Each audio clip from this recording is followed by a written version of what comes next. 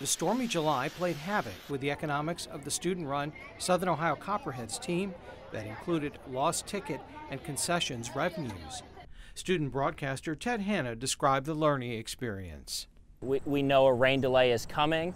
That we had, we move a promotion up a couple innings, uh, or we'll, we'll reschedule it to a date that, that works well, readjust uh, the way that we were, were doing our broadcast just due to the heat inside the press box, outside the press box. Student General Manager Charlie Clegg says OU students have a unique opportunity to learn about the major roles at the pro level.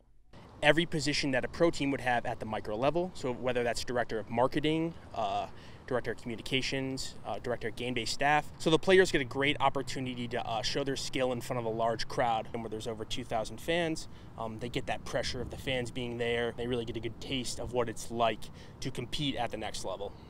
Dylan Horner is a sophomore at Edison State Junior College and pitches for the Copperheads. His goal is to move on to a four year school and build on his athletic skills and academic background. I love interacting with the kids and having a good time. Of course, that's when the weather cooperates.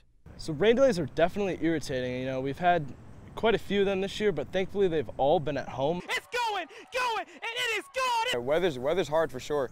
Um, it's, it's more of a mental game. You know, if it's hot, you just got to be able to bear through it. If you can feel the uh, heat on the turf through your cleats. And the Copperheads play their home games at Bob Wren Stadium in Athens. For Kyle Ratliff, a student at Southern Illinois University, participating in the Major League Baseball draft has been a dream he feels is becoming closer to reality while connecting with enthusiastic fans in southeastern Ohio. Yeah, it felt awesome, definitely, uh, having the community come out to every game and uh, be able to make friends with uh, some fans.